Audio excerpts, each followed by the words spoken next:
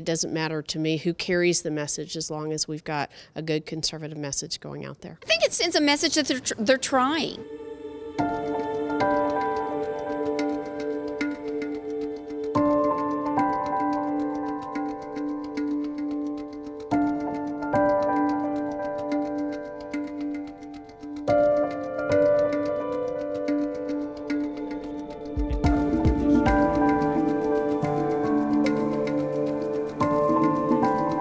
That's not something that I just wake up one day and say, hey, this is what I want to carry in the state legislature. I mean, my wife has very strong opinions. Uh, come home and ask Dara Hager or my two girls or, you know, most, a lot of my team that has been surrounded for me for years is women. My chief of staff, you know, my district director, my executive assistant. So the people that really run my life are surrounded by ladies. And, and a lot of the questions that I have, either before the legislation is filed or during, is in discussions with them. For myself, as a Republican woman, I don't have a problem with that. Um, to me, I don't have to have a woman carrying a, you know, have, have to have a woman carrying a bill for me. You know, I think that it's nice to have women at the table, which is why we're always looking for more women to run, because I do think it helps the message. But overall, I think Republicans have the same message, men or women. Women's issues are our country's issues.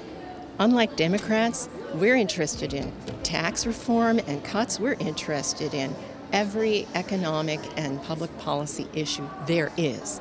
There is no women's issue. We don't vote based on our uterus. I would argue that those are elected officials who women elected in the state of Texas, and so they do represent a lot of Texas women's values. While a man may not be able to appreciate specifically themselves health issues that affect women, they know women who have health issues.